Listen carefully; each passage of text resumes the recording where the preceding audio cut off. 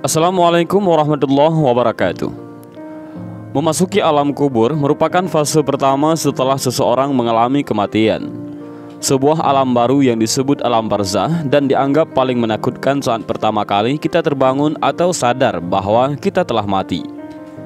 Seseorang yang sudah mati akan merasa tak percaya jika ia sudah meninggalkan alam fana dan serasa bermimpi ketika di alam kubur.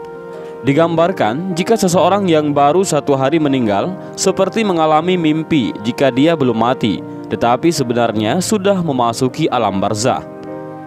Disebutkan ketika seseorang yang mengalami kematian dan kemudian memasuki alam kubur, maka pertama yang akan datang adalah malaikat mungkar dan nangkir.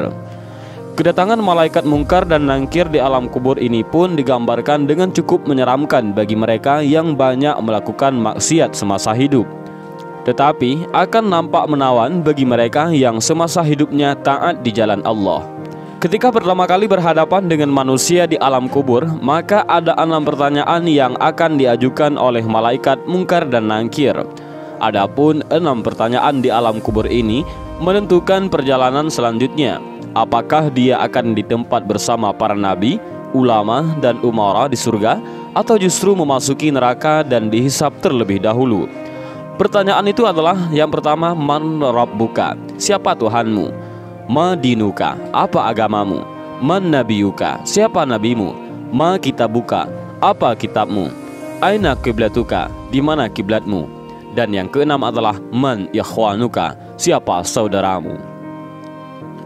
Benarlah demikian, kehidupan alam barzah atau alam kubur banyak disebutkan dalam Al-Quran dan hadis serta siksa-siksanya yang tanpa ampun bagi mereka yang berdosa tetapi akan mendapatkan kelapangan dan ketenangan bagi umat yang beramal saleh.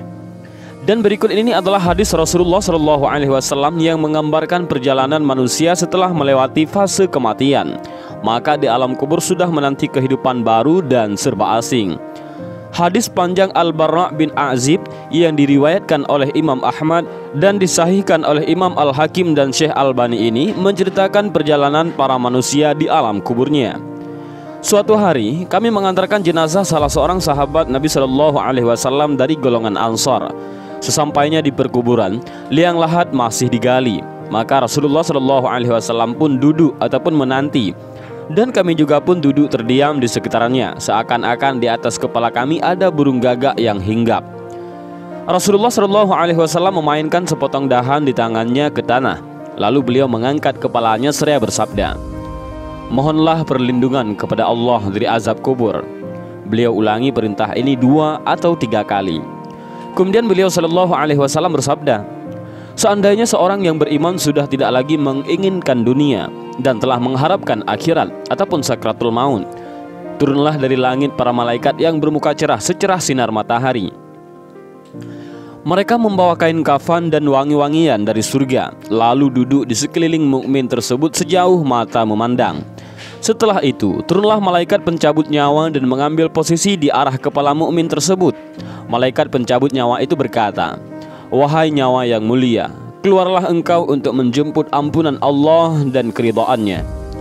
Maka nyawa itu dengan mudahnya keluar dari tubuh mukmin tersebut seperti lancarnya air yang mengalir dari mulut sebuah kendil.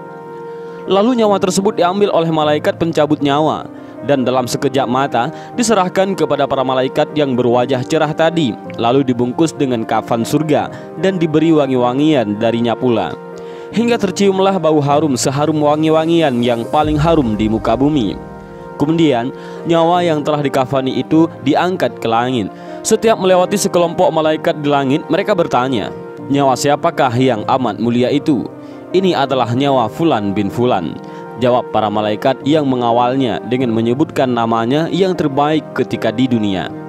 Sesampainya di langit dunia, mereka meminta izin untuk memasukinya, lalu diizinkan. Maka seluruh malaikat yang ada di langit itu ikut mengantarnya menuju langit berikutnya. Hingga mereka sampai di langit ketujuh. Di sanalah Allah berfirman, Tulislah nama hambaku ini dalam kitab Iliyin Lalu kembalikanlah ia ke jasadnya di bumi.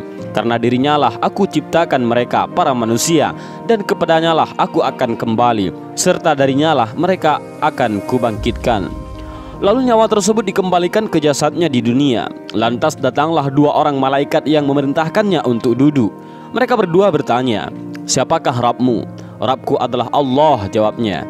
Mereka berdua kembali bertanya, "Apakah agamamu?" "Agamaku Islam," sahutnya. Mereka berdua bertanya lagi, "Siapakah orang yang telah diutus untuk kalian?" Beliau adalah Rasulullah Shallallahu alaihi wasallam jawabnya. "Dari mana engkau tahu?" Tanya mereka berdua. "Aku membaca Al-Qur'an, lalu aku mengimaninya dan mempercayainya." Tiba-tiba terdengarlah suara dari langit yang menyeru, "Jawaban hambaku benar." Maka hemparkanlah surga baginya berilah dia pakaian darinya, lalu bukakanlah pintu ke arahnya. Maka menghembuslah angin segar dan harumnya surga memasuki kuburannya, lalu kuburannya diluaskan sepanjang mata memandang.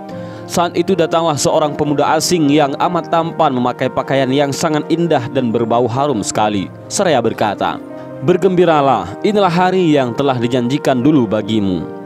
Mukmin tadi bertanya, Siapakah engkau? Wajahmu menandakan kebaikan. Aku adalah amal solehmu Jawabnya Si mukmin tadi pun berkata Wahai Rabku Segerakanlah datangnya hari kiamat Karena aku ingin bertemu dengan keluarga dan hartaku Adapun orang kafir di saat dia dalam keadaan tidak mengharapkan akhirat dan masih menginginkan dunia, turunlah dari langit malaikat yang bermuka hitam sambil membawa kain mori kasar. Lalu mereka duduk di sekelilingnya. Saat itu turunlah malaikat pencabut nyawa dan duduk di arah kepalanya seraya berkata, Wahai nyawa yang hina, keluarlah dan jemputlah kemurkaan dan kemarahan Allah. Maka nyawa orang kafir tadi berlarian di sekujur tubuhnya. Maka malaikat pencabut nyawa tadi mencabut nyawa tersebut dengan paksa, sebagaimana seseorang yang menarik besi beruji yang menempel di kapas basah. Begitu nyawa tersebut sudah berada di tangan malaikat pencabut nyawa, Sekejap mata diambil oleh para malaikat bermuka hitam yang ada di sekelilingnya. Lalu nyawa tadi segera dibungkus dengan kain mori kasar. Tiba-tiba terciumlah bau busuk sebusuk bangkai yang paling busuk di muka bumi. Lalu nyawa tadi dibawa ke langit. Setiap mereka melewati segerombolan malaikat. Mereka selalu ditanya, "Nyawa siapakah yang amat hina ini?" Ini adalah nyawa Fulan bin Fulan. Jawab mereka dengan namanya yang terburuk ketika di dunia. Sesampainya di langit dunia, mereka minta izin untuk memasukinya, namun tidak diizinkan. Rasulullah Shallallahu Alaihi Wasallam membacakan firman Allah Subhanahu Wa Taala. Tidak akan dibukakan bagi mereka orang-orang kafir pintu-pintu langit dan mereka tidak akan memasuk surga sampai seandainya unta bisa memasuki lubang jarum sekalipun. Al-Quran Surah Al-A'raf ayat 40 Saat itu Allah berfirman, Tulislah namanya di dalam sijin di bawah bumi Kemudian nyawa itu dicampakkan dengan hina. Rasulullah Shallallahu Alaihi Wasallam membacakan firman Allah Taala. Barang siapa mempersetukan sesuatu dengan Allah, maka adalah ia seolah-olah jatuh dari langit lalu disambar oleh burung atau diterbangkan angin ke tempat yang jauh. Al-Quran Surah Al-Hajj ayat 31 Kemudian nyawa tadi dikembalikan ke jasadnya Hingga datanglah dua orang malaikat yang menundukkannya seraya bertanya Siapakah Rabbmu? Aku tidak tahu jawabnya mereka berdua kembali bertanya, "Apakah agamamu?" "Aku tidak tahu," sahutnya. Mereka berdua bertanya lagi, "Siapakah orang yang telah diutus untuk kalian?" "Aku tidak tahu," jawabnya. Saat itu terdengar seruan dari langit, "Hambaku telah berdusta, hamparkanlah neraka baginya dan bukakan pintu ke arahnya." Maka hawa panas dan bau busuk neraka pun bertiup ke dalam kuburannya. Lalu kuburannya dipres oleh Allah Subhanahu wa taala hingga tulang belulangnya pecah dan menancap satu sama lainnya. Tiba-tiba datanglah seorang yang bermuka amat buruk memakai pakaian kotor dan berbau sangat busuk seraya berkata Aku datang membawa kabar buruk untukmu. Hari ini adalah hari yang telah dijanjikan bagimu. Orang kafir itu seraya bertanya Siapakah engkau? Wajahmu menandakan kesialan. Aku adalah dosa-dosamu Jawabnya. Wahai Rabku Janganlah engkau datangkan hari kiamat Suruh orang kafir tadi Dan hadis panjang ini diriwayatkan oleh Ahmad dalam Al-Musnad dan disahihkan oleh Al-Hakim dalam Al-Mustadrak dan oleh Al-Bani dalam kitab Ahkamul Janais. Dan itulah gambaran bagaimana kondisi seseorang yang sudah berada di alam kubur. Semua akan ditentukan lewat amal dan perbuatannya semasa hidup di dunia. Tentunya hal ini menjadi pelajaran bagi kita semua agar menjalankan perintah Allah dan menjauhi larangannya. Lantas bagaimana dan apa yang harus kita lakukan untuk menghadapi kematian? Maka perbanyaklah amal ibadah. Bahkan agar terbebas dari siksa alam kubur dan bisa menjawab enam pertanyaan itu, selain menjalankan semua perintah Allah dan menjauhi segala larangan Allah, maka kita harus tetap memanjatkan doa.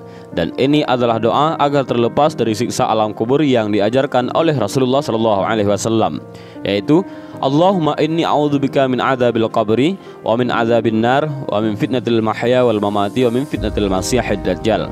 Yang artinya adalah Ya Allah, aku berlindung kepadamu dari azab kubur, azab neraka, cobaan hidup dan mati, dan fitnah dajjal yang terhapus dari rahmat Allah. Dan inilah sedikit gambaran alam kubur dan enam pertanyaan di alam kubur yang menentukan seseorang muslim bebas dari siksa menuju akhirat. Mudah-mudahan video singkat ini bermanfaat. Wallahu a'lam bishawab. Assalamualaikum warahmatullahi wabarakatuh.